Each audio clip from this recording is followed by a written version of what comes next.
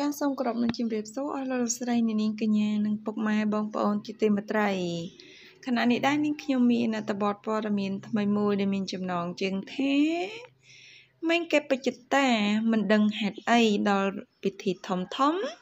បើជាគ្មានអ្នកហៅច្រៀងស្រាប់តែចោតសំណួរសួរថាចាជាការពិតខ្លាំងណាស់ជាជាថាប្រិមិត្តពុកម៉ែបងប្អូនជាច្រើនពិតជាបានជ្រាបរួចមកហើយ ពេលរាជិនីសំឡេងផ្អែមអ្នកនាងចាមេងចាមេងកៅបច្ចតាដែលសុទ្ធតែជាអាយដលក្នុងដួងចិត្តរបស់មហាជនអ្នកគាំទ្រជាដោយសារតែទឹកដមសំឡេងដ៏ពីរោះចាទោះបីជាប្រឡូកចូលសិល្បៈច្រើនឆ្នាំមែនប៉ិតចានៅតែមានប្រជាប្រិយភាពខ្លាំងទទួលបានការគាំទ្រយ៉ាងច្រើនសន្ធឹកសន្ធាប់ចាយ៉ាងណាមិញស្រាប់តែក្រឡេកមកមើលការពីពេលថ្មីថ្មីនេះ មហាជនជាច្រើនមានការភ្ញាក់ផ្អើលជាខ្លាំងចាក្រោយសុកសោះនាងម៉េងកែបច្ចតាចាបង្ហាញអារម្មណ៍ខ្លួនបែបនេះថា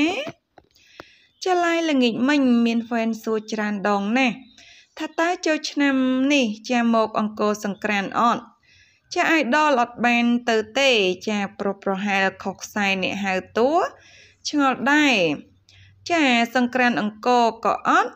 ចតាខ្ញុំនេះខ្លាយជារបស់ដែលគេក្រវត់ចោលគៀនជញ្ជាំងតាំងពីពេលណាបើខ្ញុំនៅ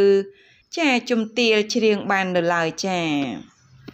ចាតបតខ្លឹមសារព័ត៌មានខ្លីដែលនាងខ្ញុំបានជម្រាបជូនសូមបញ្ចប់ត្រឹមនឹងចាសូមអរគុណសូមជម្រាបលា